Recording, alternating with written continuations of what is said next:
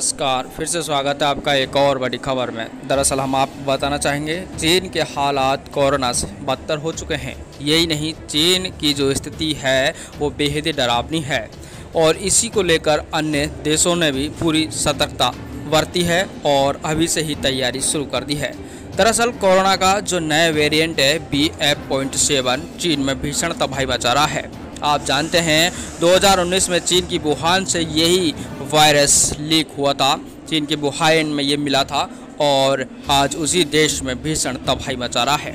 हम आपको आंकड़े बता देते हैं, एक नई रिपोर्ट में ये खुलासा हुआ है कि यदि यही स्थिति चीन की रही तो रोज़ाना करीब 10 लाख मरीज़ कोरोना के नए सामने आएँगे और 24 घंटे के अंदर बात करें तो 5000 से अधिक लोगों की जान जा सकती है।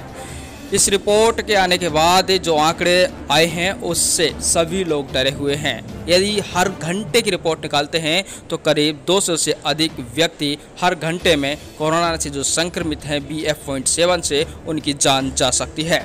इस प्रकार यहाँ पर चीन में हालात बेहद ही खराब हैं। अस्पतालों की स्थिति तो बेहद ही खराब है। यहाँ पर एडमिट करने के लिए भी मरीजों को काफ़ी वेटिंग का इंतज़ार करना पड़ रहा है। प्रॉपर इलाज भी नहीं मिल रहा है। दवाइयाँ पूरी तरह ख़त्म होती हुई नज़र आ रही हैं। साथ में अब भारत की दवाइयों पर चीन निर्भर होते हुए नज़र आ रहा है।